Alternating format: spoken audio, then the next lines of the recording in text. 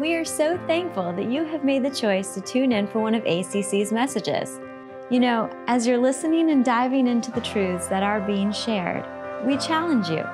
You're sitting at your phone or at your computer, hop on social media and be sure to use the hashtag you belong at ACC as God is teaching you different things during this message.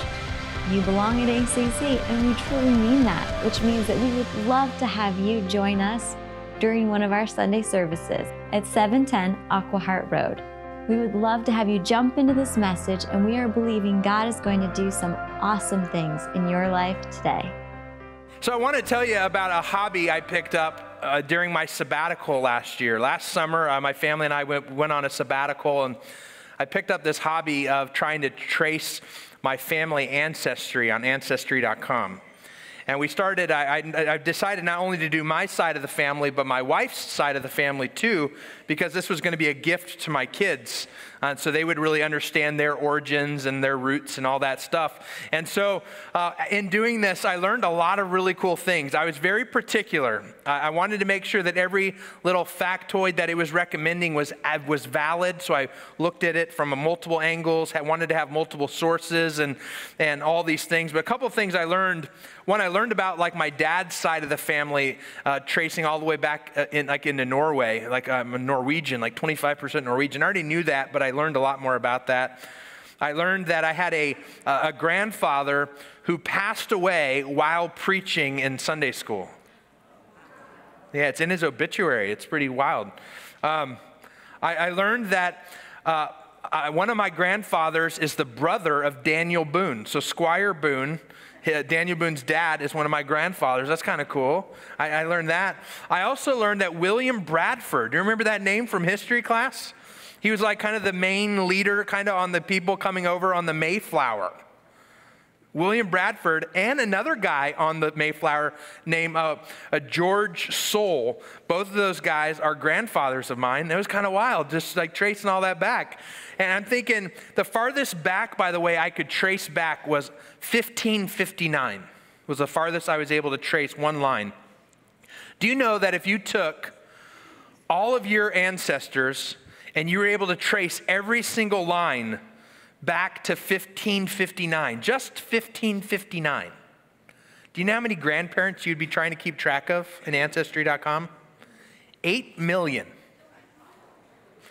You know, you have two parents, and your, your parents have parents, and now you're up to your grandparents, you got four of them, and your great grandparents, you got eight of them, and you keep doing that all the way back to 1559. You're trying to keep track of eight million different people. So if you're the personality type that likes to have things kind of finished and buttoned up nicely, I do not recommend this hobby at all. I remember having stress dreams like I'd go to bed thinking I have like a million things I have to verify, and it was just, it's not, it's not fun. But it's kind of cool to learn a little bit about your origins, right? The, the places that you've come from, and because they, they tell you a little bit more about yourself and maybe even answer some questions you've always wondered and things like that. Well, we're going to do that over the next five weeks, but we're going to be talking about all the way back to the beginning all the way back, right? You have 8 million great grandparents from 1559, and that number just keeps getting bigger and bigger. But at some point, that tree starts to narrow back down, and you get to the place where there was just one. And it's a really neat thing to kind of research and study. And so today I have a lot to share, so I need you to listen quickly, okay? Um, origins, the foundational understanding for the rest of Scripture. And today we're going to talk about Genesis chapters 1 and 2, uh, the beginning of time. The beginning of time. Where did time begin? How did all this start? Where did we come from? We're going to go all the way back, way past 1559, all the way back to the beginning. In fact, what I want to share with you today are nine things, nine lessons that you can learn from Genesis chapter 1 and chapter 2. And so, if you got your fill in the blanks, I'm going to go through them pretty quickly. I'm going to spend some time on a few of them, uh, but most of them I'm going to go pretty quick. All right, here's the first thing. Uh, well, before I even get to the first thing, uh, you know, uh, I have this set of gumballs in my office. It's three different jars that have gumballs in them, and that makes me a, a fan favorite amongst our pastor's kids. Uh, there's always a time where there's always a pastor's kid coming into my office asking if they can have some gumballs. I've had to set some ground rules and saying, listen, you can't come in while I'm meeting with someone, okay? Uh, uh, Lily Ferrer is the worst. I don't know if you know little Lily. She'll come in and say, can I have a gumball? And I say yes. And she goes and she opens up one of the jars and she pulls out her shirt I left for like a week vacation a couple weeks ago, and I came back, and those jars were empty. She cleaned me out. So I've set a rule now. Listen, you can have two gumballs if you tell me a Bible verse that you've, that you've memorized. And so this, uh, oh, hi, Lily. so Lily is sitting here on the front row. Um, so Lily comes into my office the other day and says, Can I have a, a, a gumball? I said, You can have two, but you got to say a Bible verse. And she said, Genesis 1 1. She started at the very beginning. And so I expect the next time you come in, I'm going to get Genesis 1 2. And we're going to work our way through the whole thing together, all right? So here's, here's Genesis 1 1. It says, In the beginning, God created the heavens and the earth. It's the very first verse in your Bible. In the beginning, God created the heavens and the earth. Now, you might be wondering, what does this word uh, beginning mean? Like, when, when was the beginning? At what point in time was this verse appropriate? In the beginning of time. Well, I want you to understand there's a couple different ways to look at this. Some people will believe that in the beginning, if you have a what we call a young earth theology, you would say the earth is really only about 6,000 to 8,000 years old. And so you'd have a young earth perspective. And then other people would say, well, no, I believe that the earth is millions or billions of years old, and that would be kind of an old earth theology. And there are Christians on both sides of this argument, and there's there's really kind of eight different arguments. There's other th- things in between all that. And so you might be thinking, well, the, the focus, I want to know, Pastor Matt, do you have a perspective on this? Well, if you've been around this church for a little while, you know I have a thought on this subject. And I'm going to share that with you, but I'm not going to do it quite yet. And here's why because the, the important part of this verse isn't the word beginning. It's not, it shouldn't make you wonder in the beginning. Well, when was the beginning? The important part of this verse is in the beginning, God. God is the important part of this verse. And what it tells us is that in the beginning of all things, uh, God existed. So here's your first thing I want you to know about. Number one, God exists and created all things. That's one of the things you're going to learn from Genesis chapters 1 and 2 that God exists and created all things. It's one of the first things God wanted to reveal about himself to you is, "Hello, I am here." In the beginning, God created the heavens and the earth. Now, what's interesting is in the natural world, uh, when we think of the natural world, we mean that everything that has to follow the natural rules of science and order. Uh, you have like these, you know, we have natural and we have supernatural. Well, if you are a person who subscribes to just the natural world, you don't believe in anything supernatural, I believe that you have a problem because you have to explain how everything that we see and touch and, and think and all the things that are going on in this room, how all of this came to be and you have to explain it using the natural rules of, of science and logic and reasoning and all those things. You have a major problem because at some point you're going to get to a place where you're like, okay, well, uh, there was this there was this explosion. Okay, well, where did the things that that crashed into each other? Well, they came from there was this cloud. Okay, well, where did this cloud come from? And eventually you get to a point where your your own ideology of uh, trying to explain everything in a natural sense is going to cause some major problems because the natural world can't explain it. But if you believe in supernatural, I believe you can. You see, in the natural world, something can't just come into existence. We understand that things don't just pop into existence using only the natural laws of science. That would break all the laws of science, physics, logic. We all understand that something can't come from nothing. So if you deny the existence of any supernatural force, anything outside of these natural laws, you have a major problem. You can't explain how something came from nothing. Your own viewpoint breaks down very quickly. And so that's why I tell people I don't have enough faith to be an atheist. I don't have enough faith to believe that we can somehow explain how everything that is now came to be without some sort of influence of a supernatural power outside of time, space, and matter. Instead, I have faith that there must be something, or in my case, someone outside of everything that we experience naturally that created it all, and we call that person God. And by the way, before I get into that a little bit more detail, have you ever noticed that when you create something, it comes with the rights of ownership? If you create something, you own the rights to that thing. It's yours. You created it, right? Well, if we believe that God created all things, that He exists and created all things, well, then we understand that God is in charge of all that He's created. He's the owner of it all. Here's the second thing I want you to see that we're still going to get out of Genesis 1 1 is, is number two, is creation is compatible with science. Creation is compatible with science. Now, some of you might scratch your head on this one and say, oh, hold on. I understand that you can either lean into faith or you can lean into science, but the two don't go together. There, there's no way to overlap these two ideas. You either follow science or you follow this, this uh, ideology of faith. The truth is that you can believe in both. In fact, if God created all things, God created science. He created this tool that we have to actually understand how He made what He made. He gave us access to be able to study and learn how everything fits together that God put together. And that's something that we understand that, that creation is compatible with science. In fact, let me show this to you in kind of one really cool way. A 19th century scientist, his name was Herbert Spencer. I'm going to quote him for a moment. He said this Everything knowable can be categorized in five different ways time, force, action, space, and matter. Anything that can be understood or known in the natural world can be put into one of these five categories. What's really cool is that in the very first verse of the Bible, God leans into this scientific truth that everything knowable can be categorized into five different ways time, force, action, space, and matter. And he put it all in verse one. You ready for this? Let, let me show this to you on the screen. In the beginning, what do we call that? Time.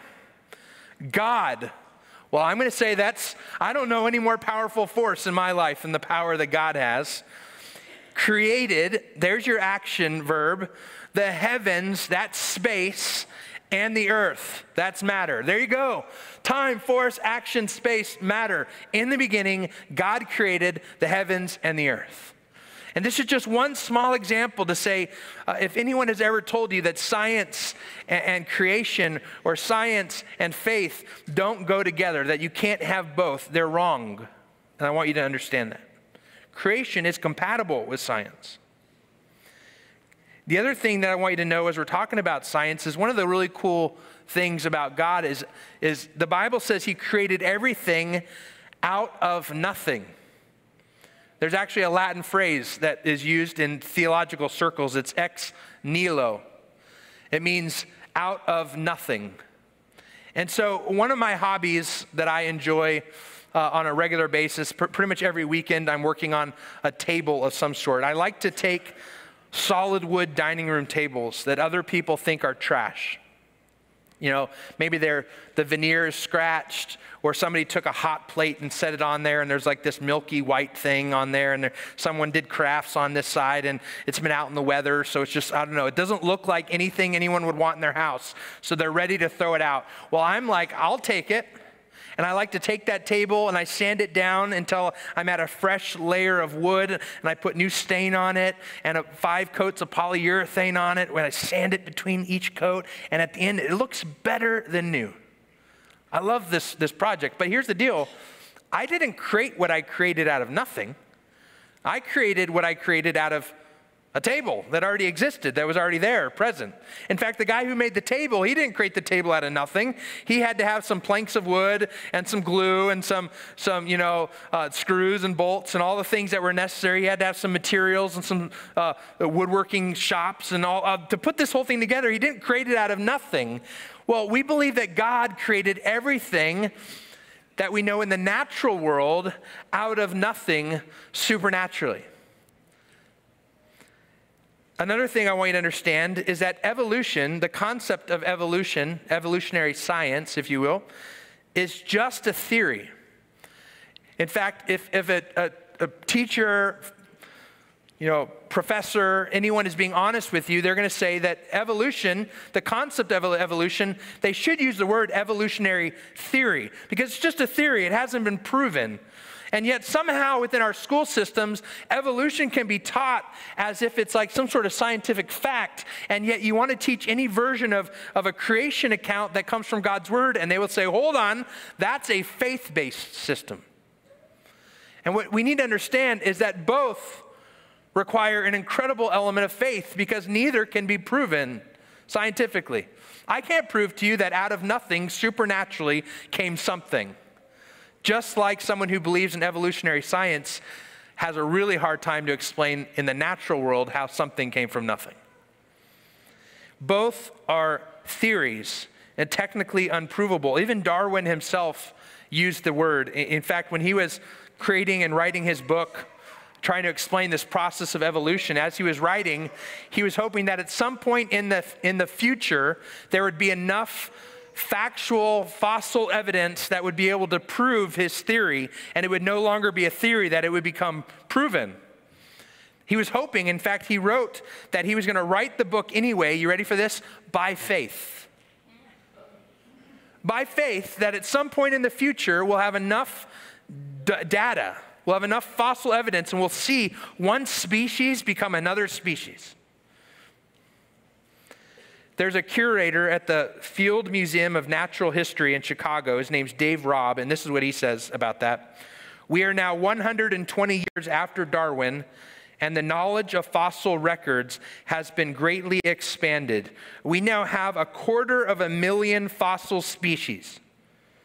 But the situation hasn't changed much. We now have fewer examples of evolutionary transition than we had in Darwin's time.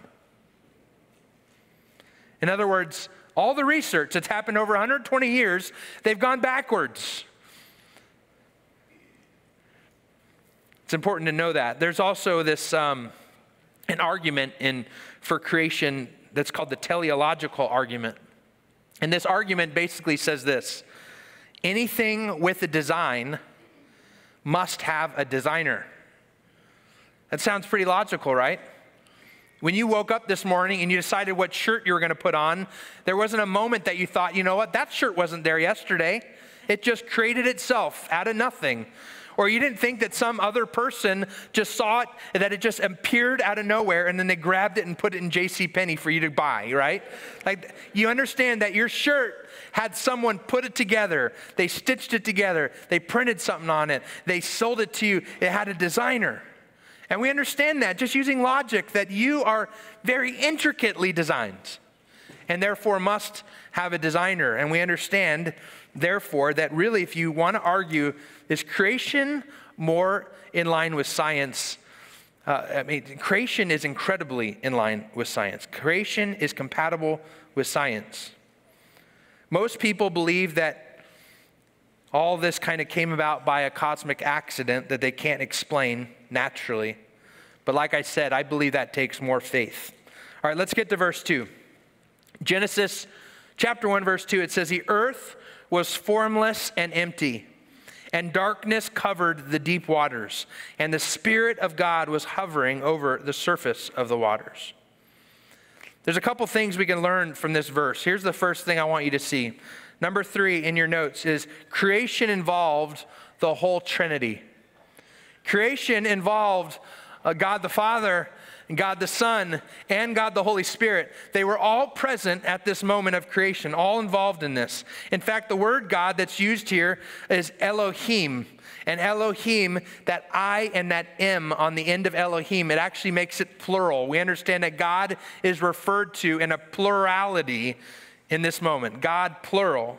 That doesn't mean there's multiple gods. There's one God that has eternally existed as three separate persons. Let me show this to you. In John 1 1, it says, In the beginning, the Word, that's you, you do a word study on this, you'll realize this is Jesus. We're talking about Jesus. In the beginning, Jesus already existed. The Word was with God, and the Word was God. In other words, God's Word says that Jesus was there at the beginning, and not only was he with God, he was part of the Trinity of God. Colossians 1:16 says, "For through him, we're talking about Jesus again, God created everything in the heavenly realms and on earth." Through Jesus Christ, all things were created. Jesus was there at the beginning. And then here in our Genesis 1 2, it says, the Spirit of God was hovering over the waters. What does that mean? The Holy Spirit was also present in this process. So there we are, the, the, this, this verses 1 through 2. We've covered a lot of ground. You ready? Genesis 1, verse 3. We're now still in the first day of creation. It says, Then God said, Let there be light. And there was light. Just looking at verse 3, here's what I, I think we should be able to glean from verse 3 is number four, God is incredibly powerful and good. He's incredibly powerful and he's incredibly good. And we see right here in Genesis 1 3, God said, Let there be light. He spoke with his mouth, and then there was light. There's a moment, uh, it usually happens about once a day, where I get to walk into my house and I get to feel very powerful, right? Especially if it's nighttime and all the lights in the house are off. I walk into that side entrance door, I come into my house and I say, Alexa, I'm home and all the lights in the family room turn on, the lights in the kitchen turn on, the lights in, and I just, man, it's just in a moment, I just speak with my mouth and the house obeys. It's incredible. Now, clearly, uh, I'm not walking in the house saying, let there be light, and actually fulfilling anything through my power. It's a bunch of technology that God created, by the way, right? And, and here, and I'm not, some of you are like, wait, you're saying God created Alexa. That's not what I'm saying. But I'm saying all, everything that we have is from God's creation, right? And, and God is the one who was able to look at his creation on day one and say, Let there be light. And then there was. God is incredibly powerful, and he's incredibly good. Incredibly good. Let me tell you more about this concept of good. Why, why, why do I get good out of this? Well, first, in Hebrew, in Hebrews uh, chapter 11, verse 3, it says, By faith, we understand that the entire universe was formed at God's command. By faith, we believe that everything that exists in the entirety of the universe, the beginning of time, that it all was formed by God speaking it and commanding it to happen. And then it says, and what we uh, now see did not come from anything that can be seen. That's that ex nihilo, that everything came from nothing at God's command. But then in verse 4, if we're talking about this concept of good, it says, And God saw that the light was good. And then he separated the light from the darkness. You know what you're going to notice throughout the entire creation account is that as God creates what he creates, he looks at what he's made on each day and he says, It is good. He keeps calling his creation good. In fact, as he goes all the way through the creation account, it's good, it's good, it's good, it's good. In fact, there's one spot in Scripture where he switches and he says, It is very good. Do you know what he created when he said it's very good? Yeah, if I'm, if I'm being honest with you, okay, there's actually one place in the creation account where God says that it's not good. And it's right after he created Adam right? He creates Adam, the first man, and he looks at what he's made and he says, It is not good for man to be alone. And then he creates Eve, and then he looks at what he's made and he says, It is very good. Women, you get credit for that part. Here's number five nine things that we learn from Genesis chapters 1 and 2. Creation gives us a proper understanding of time. Creation gives us a proper understanding of time. If we look at verse 5, it says, God called the light day and the darkness night. And evening passed and morning came, marking the first day. You're going to notice there's the word day is used twice in this verse behind me.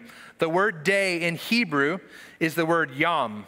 All right, so if you go back and look at the original Hebrew, uh, the word yom is used here. And just like in Hebrew, the way uh, we use the word day in English, day can mean three different things, can't it? Think about this for a minute.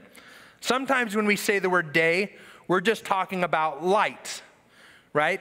We say, hey, uh, uh I'm going to go out uh, today, but I'm going to come back tonight. What do we mean? That day is the time, that like 12 ish hour period of time where the sun is hitting your side of the globe. We call that day sometimes, and we call the other part of the hours night. So sometimes we're talking about a 12 hour period of time. Another time we use the word day, we're talking about a, a, an undefined amount of time from the past. Right? Uh, you might have said this before. Back in my day. And, just like in Hebrew, there's times where the word day is used like that, back in that yom, back in this undisclosed amount of time. So that could be the way yom is meant to be used here. Uh, the third kind is the most obvious uh, way that yom is sometimes translated, and it's a, a literal 24 hour period, right? we understand that a day, as we, as we talk about it today, is, is you know, one 24 hour period of time. We call that a day. So the question is, what day is being used here? It says, God called the light day. That one's pretty obvious. That's the first one, right? That's that 12 ish hour period of time where light is hitting your side of the, the planet, and God created light and called it day. And then the other side, he's calling night. Then it says, and the evening passed, and morning came, marking the first Yom. Now, the, the question about that yom, that day, is is it talking about a 24 hour period of time? Or is it talking about, uh, uh, you know, are we young earth, 6,000, 8,000 years old, based on the genealogies of Scripture and understanding how, all, was this a literal 24 hour period of time? Or was this about ages of time? Is this an age of time? Is the earth millions of years old? Well, I want to tell you my, my perspective. I'm a young earth believer, I believe that the, the, we're talking about literal 24 hour periods of time that God created the earth and the universe and everything in it in six literal days. Let me tell you why I believe that. But before I do, let me say this. If you disagree with me on this, you're wrong. Just kidding. No, no, hold on. Now, if you disagree with me on this, this is not an area at this church that we consider an essential matter of faith right? You don't have to get this exactly right to be a follower of Jesus who's one day going to spend eternity with other brothers and sisters in Christ in heaven. This isn't that kind of a matter. So you can disagree with me. You can say, oh, I think this translates differently and I understand this in a different way. And we can still be brothers and sisters in Christ and love each other. We're not going to break fellowship over this. I do still want to share with you my view and why I believe it's a literal 24 hour period of time some people would hear that and be like, wait, you believe that God literally created everything in six days? And I would say, yeah. And what took him so long? like, why? God, in just one moment, everything would have been created, right? So why, why would he even done the, the 24 hour period of time thing? And I, I believe the reason why, and first of all, one of the things to know is the word yom, anytime it's mentioned with a number, so yom 1, Yom 2, Yom 3. It's always in, in every other part of the Bible, it's always referring to a literal 24 hour period of time. That's one of the reasons why I believe this is a literal understanding of time, a 24 hour period. But another thing to understand here uh, is, is God is, is creating in this moment our understanding, a proper understanding of time uh, an understanding of uh, what a 24 hour period looks like. And he's establishing for us uh, why did God not create everything in one day? Why did he not create it in one instant? Why did he do it over six days? He's teaching us how and, and what it looks like to, to have a work week and then to take a day and rest. He's modeling that for you and I so that we know what it looks like in a, in a typical work week to have that time of rest and to have that time of work. And so God is working all this out, in my, in my opinion, in a literal six 24 hour periods. Now, by the way, some people will look at this verse and say, well, this verse says that God created the light on day one, but that if you keep reading down, if you've been like reading ahead, on day four is when he creates the sun. We think, well, what, that doesn't seem to, to line up. That seems to be a problem. Your Bible is a little wonky, right? But it's not. If you really understand, one of the things we know about God is God describes himself as basically perfect light. In 1 John 1, it actually says in verse 5 God is light, and there is no darkness in him at all. And so, believe it or not, you can understand this creation account. Uh, what did, what did, think about this for a second. What did God create on day one? Most people will say light. God created light on day one. God said, Let there be light, right? That's, that's what it was. But if you actually read back a little bit, you understand that in the beginning, on day one, I believe that God also created the heavens and the earth. So understand this that on day one, he was really busy. He created this thing that we call the earth. The Bible says that it was formless and empty, that it had no shape, that the Spirit was hovering over the waters. And then also said that he created the heavens, which in this case would be uh, the entirety of the universe. That it was all void and empty. There wasn't anything in it filling it yet. It was just, uh, there was the earth and everything else. And then he created light on day one, okay? So understand that. So if, if on day one there was light and there was a daytime and a nighttime, but there was no sun, how is that possible? Believe it or not, I believe that God, for the first three days of creation, was the, the source of natural light on this world. He allowed His light to be seen in a natural sense and to provide that source of light on day one, two, and three of His creation until He created the sun to take over that job. Let's keep, let's keep reading. Nine things that we learned from Genesis 1 and 2. Number five, creation gives us a proper understanding of time. I already gave you that one. Uh, here, here, here let's, let's read Genesis 1, verses 6 through 7. It says, Then God said, Let there be a space between the waters to separate the waters of the heavens from the waters of the earth. And that is what happened. God made this space to separate the waters of the earth from the waters of the heavens. And God called the space sky. And evening passed and morning came, marking the second day. So, one of the things you notice is the earth already exists coming into day two. And the universe, the heavens already exists coming into day two. So, what he creates on day two is this atmosphere, this, this protection layer around the earth to separate the sky, the space that uh, uh, human life is now possible, that there's breathable air and water to drink and all the things that are going to be necessary to sustain life, that that space, our atmosphere, is separated from everything in outer space. That's what he created on day two. See, God created this, and He created just what He needed, the canvas necessary to sustain life. Let's keep reading. In verse 9, it says, Then God said, Let the waters beneath the sky flow together into one place so dry ground may appear. And this is what happened God called the dry ground land and the waters seas. And then God saw that it was good. And then God said, Let the land sprout with vegetation, every sort of seed bearing plant, and trees that grow seed bearing fruit. These seeds will then produce the kinds of plants uh, and trees from which they came. And that is what happened. The land produced vegetation, all sorts of seed bearing plants, and trees with seed bearing fruit. Their seeds produced plants and the trees of the same kind. And God saw that it was good, and evening passed and morning came, marking the third day. Again, what I believe is a 24 hour period of time. On, on day three, he, he separates the land from the water and he puts this vegetation on the land.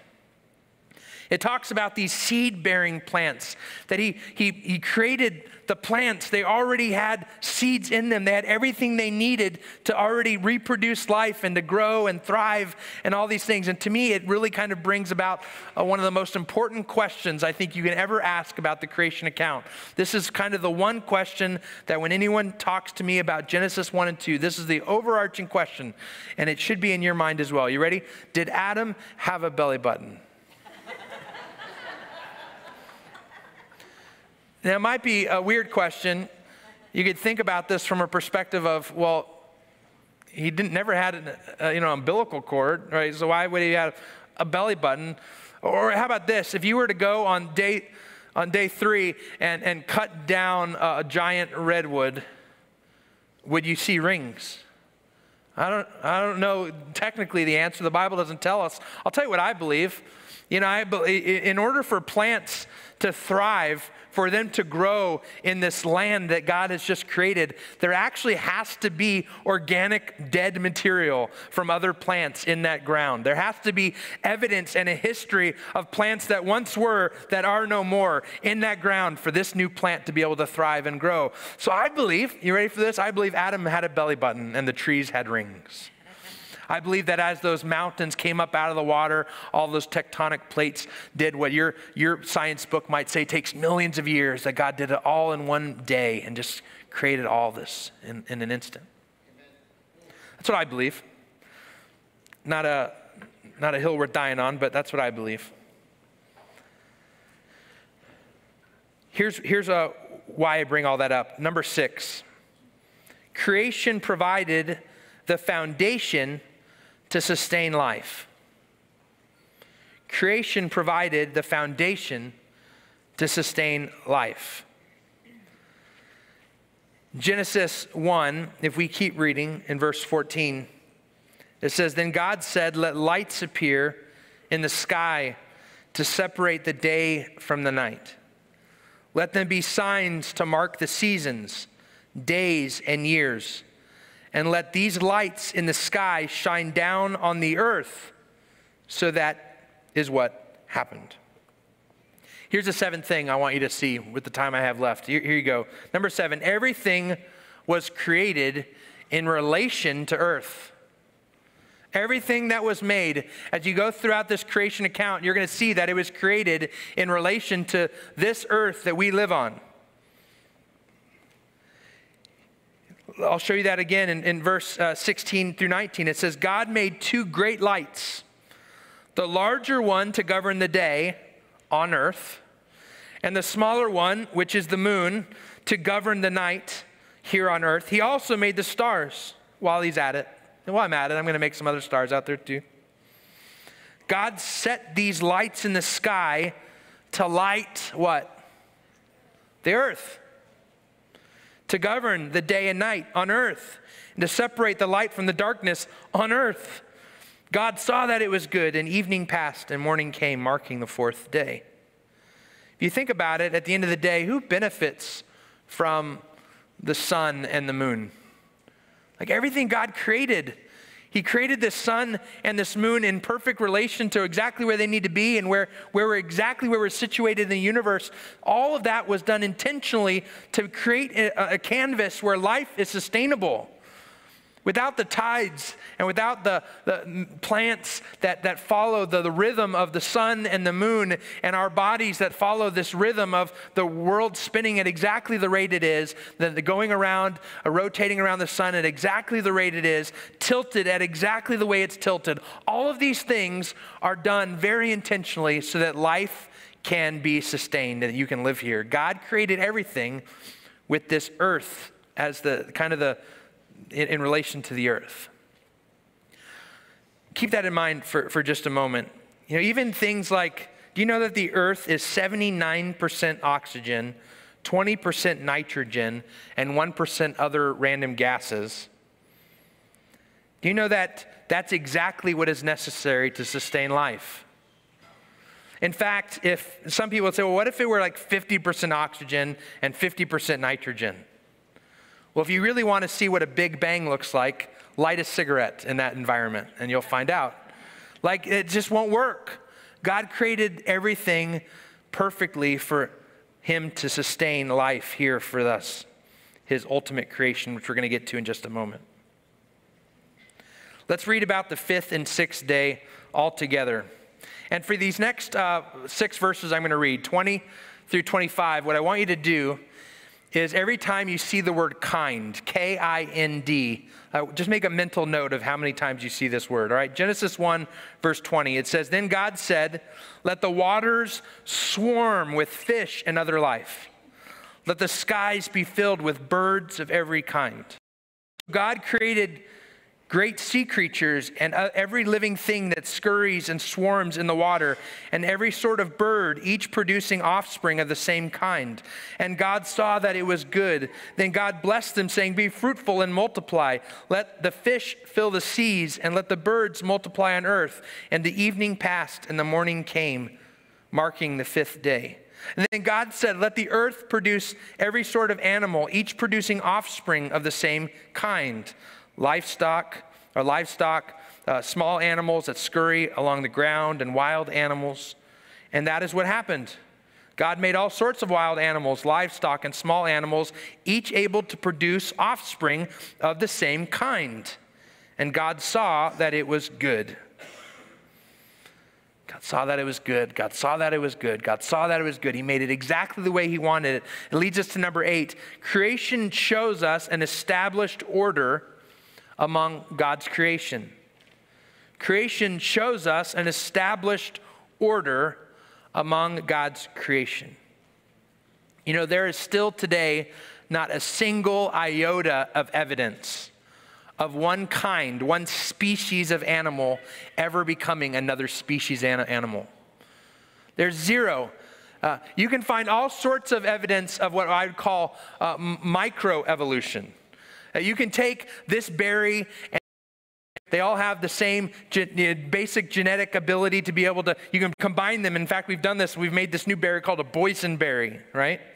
You can take different breeds of dogs that are of the same kind, and you can make, uh, you can find this microevolution where you create this new dog breed and then sell it to people for $2,000, right? you can do that but there is zero evidence of macroevolution. There's all sorts of evidence of, of evolution that happens uh, vertically, but you're never going to see a kind or a species jump horizontally into a different number of chromosomes in the DNA. There's zero evidence of, and this is really unfortunate, by the way, there's zero evidence of a cat ever becoming a dog. that would be cool. That would be like, I, I'm okay with it, but it's never happened. So creation shows us an established order among God's creation. That vertical, that micro, yes, that happens, but a macro, a horizontal jump from one species or kind to another, it has never happened. There's zero evidence of it ever happening. In fact, you, you find someone who, who's adamant that, that we came through evolutionary science. I want you to say, find me one piece of evidence of one species ever becoming another species. They won't have anything. God created everything in a precise order, and He called it good, and that's because it is good. All right, speaking of making good things, do you know His greatest creation of all kind, of all time, of all the kinds, is you. In Genesis 1, verse 26 and 27, it says, Then God said, Let us, that's the Trinity, make human beings in our image to be like us. That's again God the Father, God the Son, and God the Holy Spirit saying, Let us make one bit of creation. He didn't, he didn't create the plants in his image. He didn't create any animals or fish or birds or any, he didn't create anything else in his image. He, there's only one thing in all creation he created in his image, and it's mankind. He says, Let us make human beings in our image to be like us. They will reign over the fish in the sea, the birds in the sky, and the livestock and all the wild animals on the earth and the small animals that scurry along the ground. So God created human beings in his own image. In the image of God, he created them, male and female, he created them. When we talk about, um, let me give you number nine. Number nine is this you were created in the image of God. You were created in the image of God. If you want to take a little side note, what does being created in the image of God mean? Well, God has three things that He has given to you as a human being that are unique to you. He's given you volition, meaning a will to be able to do things and to decide what you're going to do. He's given you emotion, and He's given you intellect. These are three things that are characters of God, characteristics of God that He's given you. And we were able, with our volition, our emotion, and our intellect, we're free to process our own thoughts. We're free to feel things, and then with those feelings and those thoughts, decide for ourselves what we're going to do. And I don't want to get ahead of ourselves. Next week, we're going to talk about the beginning of sin. And ultimately, if you know the story, we took the fact that we were beautifully made in a good place, a beautiful place in the image of God. We took the volition, the intellect, and the emotion that He gave us, and we screwed it all up. We're going to talk about that more next week. So, what now? What do we do with this? Um,